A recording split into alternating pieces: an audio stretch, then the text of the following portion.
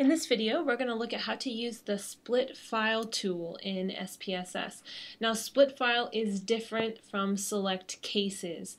Um, split file will split your data into different groups and you can define those groups and then it will analyze all the data in all the groups. Whereas select cases is just selecting specific cases to analyze.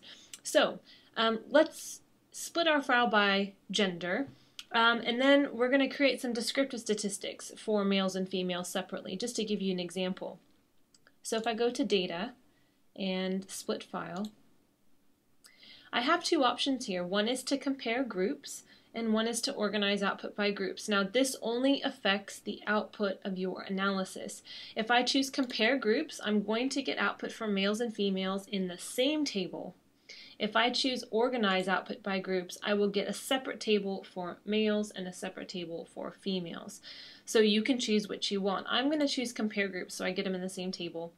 And gender is the variable by which I'm splitting my file. So I move it to my groups based on box.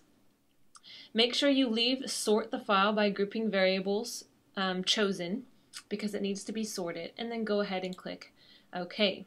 If I go back to my data file, I can see that my file has been sorted by males and females. So all my males are first and all my females are second. Now, if we go back to the output file, you'll see there's nothing here. There's just a log of what I did, but there's no output, and that's because I haven't done any analysis yet. In order to get output, I need to do something. So just to show you what the output's going to look like, let's go ahead and get some descriptive statistics for males and females. So analyze, descriptives, I'm going to use the frequencies options, just my preference. And let's look at gross annual income. Um, go to statistics and just going to choose a few, so mean, median, standard deviation, and range. You can choose any ones you want. Go ahead and click continue. And I'm going to untick display frequency tables because I don't want one. I just want my statistics and click OK. Now you'll notice the output has come out in the same table, males on the top, females on the bottom, and I have my summary statistics here for each gender.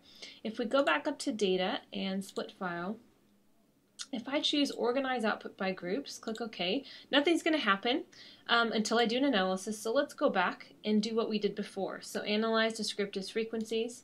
I'm going to leave gross annual income there and go ahead and click OK.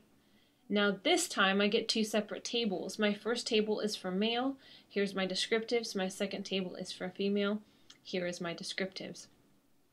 So for the split file, it just splits your file, like SPSS considers males and females to be two separate data files, but they're still in the same place.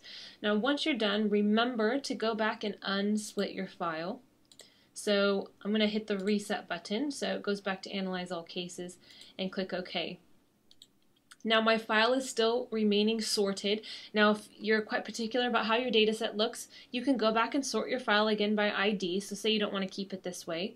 If we go to data and sort cases, I'm going to choose to sort them by case number, which is my first one, and click OK. I go back to my data file. Now it's back to its original state and it's sorted by case number rather than by male and female. So that's how you use split file.